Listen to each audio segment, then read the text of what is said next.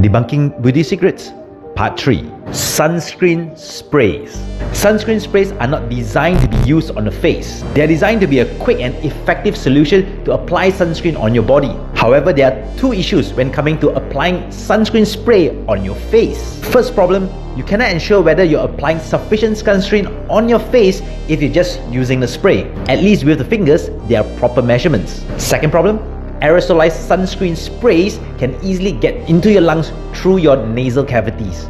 These can cause breathing problems, especially in people with asthma. And over time, it might cause long term lung issues. So stick to the age old sunscreens of either using creams or lotions.